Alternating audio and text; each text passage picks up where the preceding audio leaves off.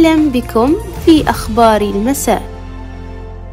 أطلقت وزارة الثقافة والرياضة والشباب جائزة الفنون لعام 2023 في ثلاث مجالات وهي الأفلام الدعائية وأفلام الرسوم المتحركة والموسيقى التصويرية.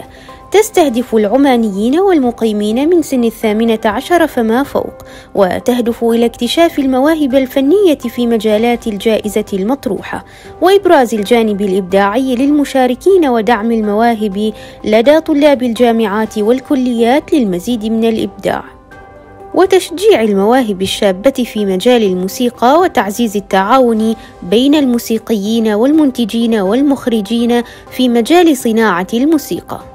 احتفلت سلطنة عمان ممثلة بهيئة البيئة باليوم العالمي لمكافحة التصحر والجفاف، ونفذت الهيئة ممثلة بالمديرية العامة للبيئة بمحافظة ظفار تزامنا مع هذه المناسبة مبادرة بعنوان ظلال الصحراء والتي تأتي ضمن المبادرة الوطنية لزراعة عشر ملايين شجرة برية في سلطنة عمان. أنقذ رجال شرطة خفر السواحل بقيادة شرطة محافظة جنوب الباطنة حياة طفلين من الغرق أثناء ممارستهما السباحة في ولاية بركة حيث قدمت لهما الإسعافات الأولية ونقلا إلى المستشفى.